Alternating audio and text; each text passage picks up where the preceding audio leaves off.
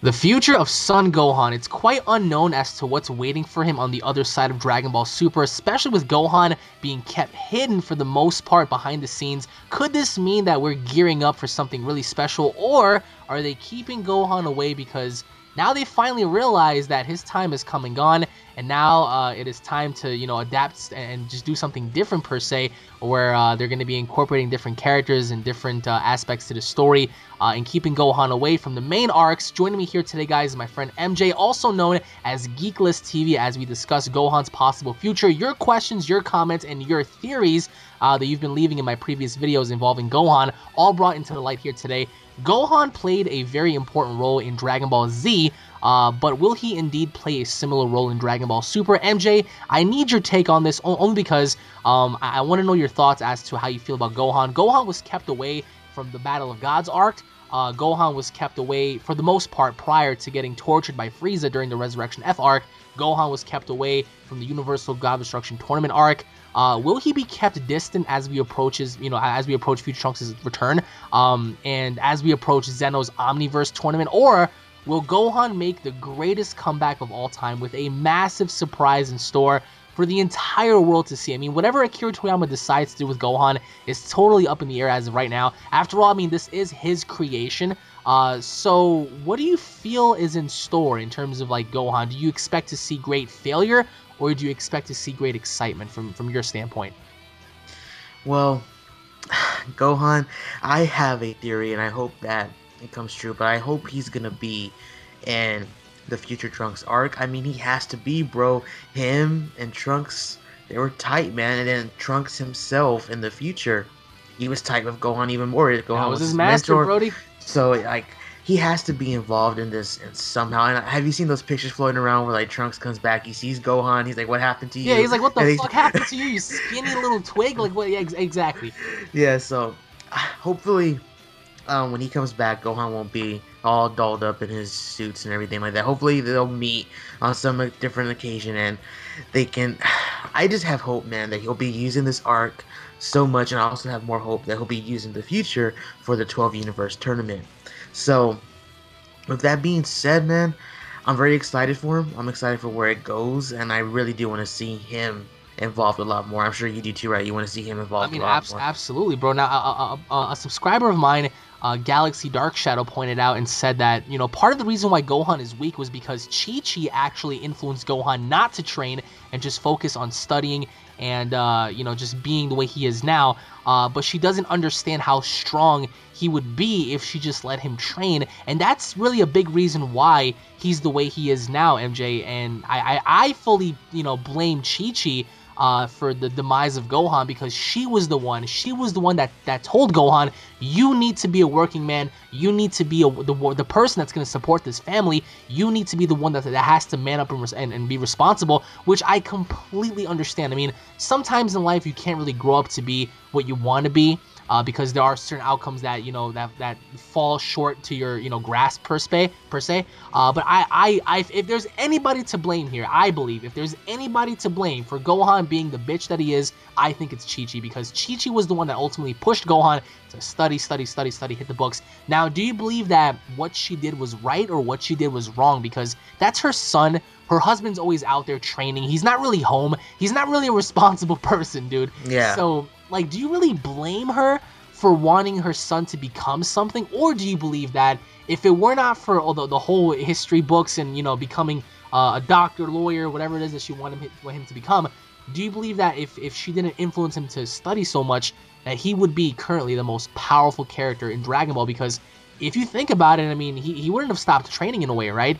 Um, yeah, sure, he would have been with Videl and whatever, but he still would have trained with Goten in a way because he was training with him prior to that when, when, we, when we first saw the introduction of the Majin Buu saga when they were going to go to the tournament. So we saw them train together. So do you believe that Chi Chi had a big role to play in Gohan's demise, or do you believe that ultimately it was Gohan's choice here?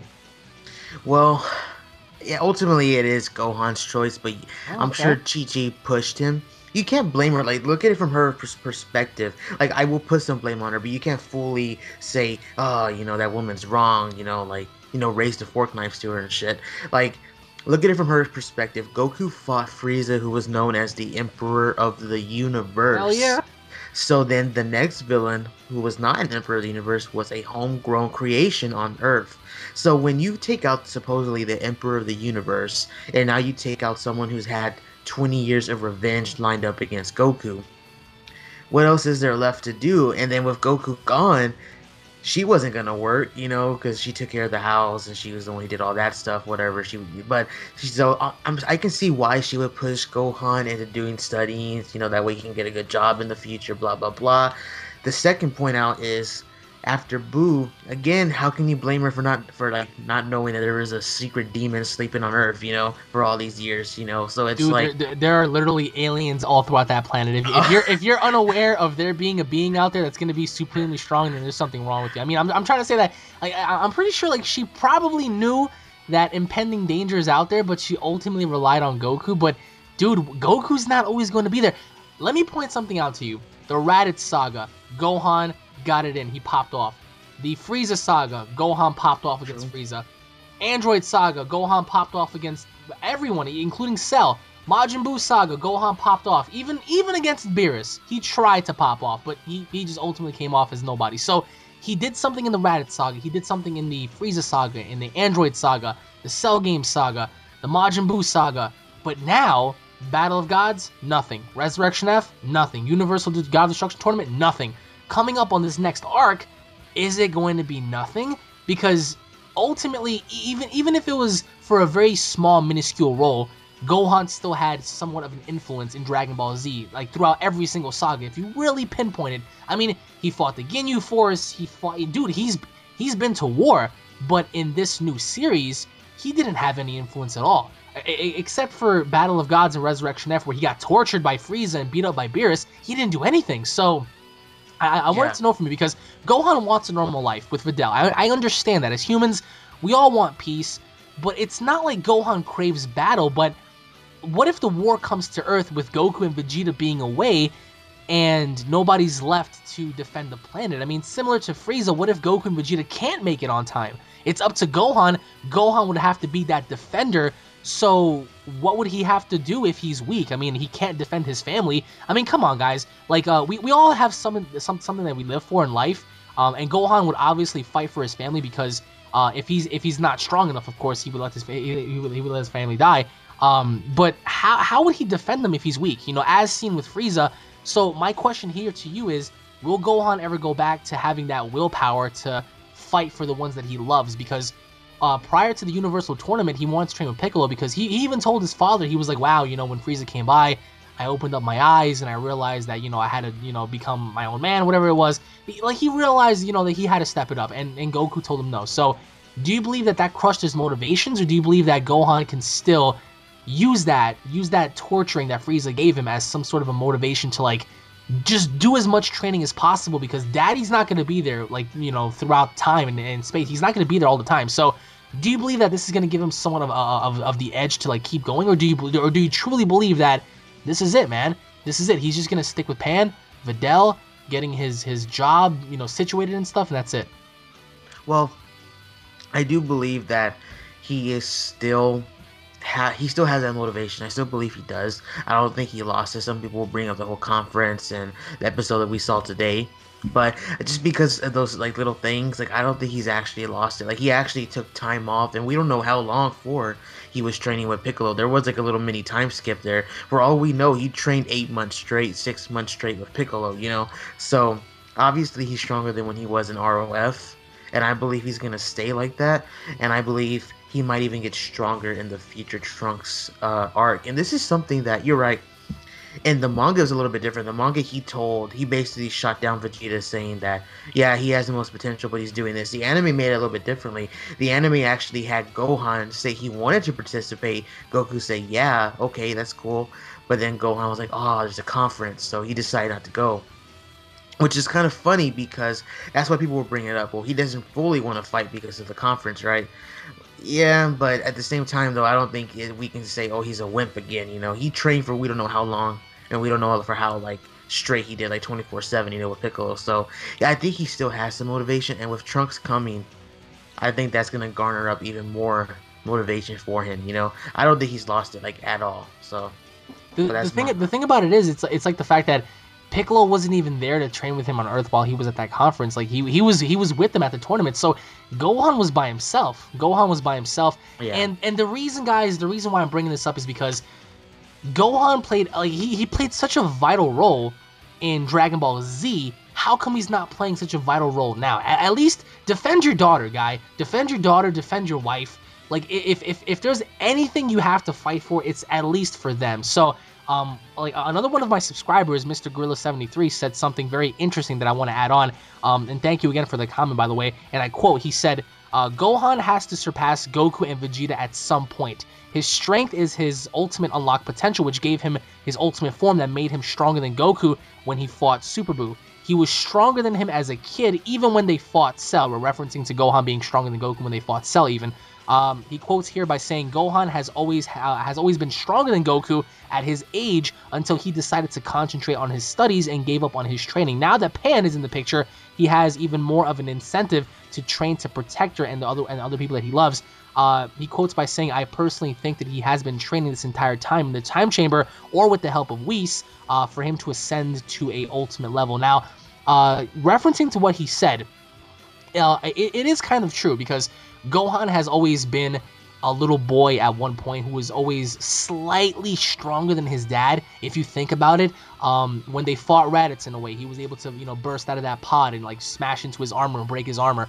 Uh, when they fought, you know, the Ginyu Force, like Gohan was Gohan was one of the few that was actually standing up. When they fought Cell, you know, like that was that was a clear indication how strong he was at, at 11 years old. So even when they fought uh when they fought Majin Buu, when they fought Super when he came back, he was the strongest non-fused character. So now, even though he, he's nowhere near his peak, he still has something to fight for. So going into the future, I, I do you believe that he could be redeemed, or, or at least have him do one more important thing before like they close the curtains on him? Because um, I just feel as if there there is something coming with him. Because even in the intro, right, in the uh, Dragon Ball Super intro, uh, they show him powering up with Goten, and when Goku becomes a Super Saiyan 3, if you guys go back and watch the intro, watch the intro, we see him powering up and stuff.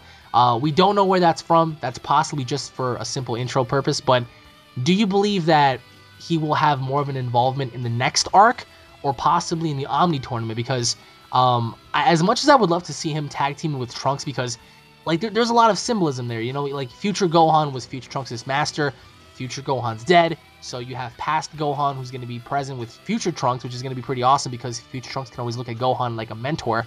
Um, so do you believe that there's there going to be there's going to be more involvement in the next arc with Trunks, or do you believe that there's going to be at least an, a somewhat of an involvement by Gohan entering the Omni tournament here? Well, uh, back to what I said before, you know, and how you mentioned it as well. Gohan being the mentor, you know, Gohan and Trunks kind of being cool back in the Cell Saga, you know, how they were always like they went on those little things. You know, Gohan was the one who accompanied Trunks to a lot of places, you know, to go Yeah. check on that ship, the time capsule. My bad. How he went with them to go check on the time capsule. How they stayed up on the lookout for a while together. It's like he he's gonna play a core part in this arc. The tournament, I'm not too sure, man. I don't know if he'll be I in the hope so, bro, tournament. because he wanted to. He really wanted to be a part of the other one, but Goku's like, nah, you got to sit this one out, kid. So yeah, so for sure in the future, Trunks arc, he's gonna be Trunks arc for sure. Trunks arc for sure. The But then what is he gonna do? He's weak. What is he gonna do? Train with Trunks? That'd be pretty cool. not too sure because there's like two sides of it. You can look at him being weak, but then there's also the uh, Mike from Laffy Stock Media. Uh, me and him are really into power. Well, he's more actually into power scaling characters. I'm just like interested in it, so I can't say I'm like a an expert at that. But Right. if you look at it, Piccolo kept up with Frost, and Piccolo was shown to be like competing with Gohan equally in that little five second skit of them sparring. I guess yeah, sparring is the word.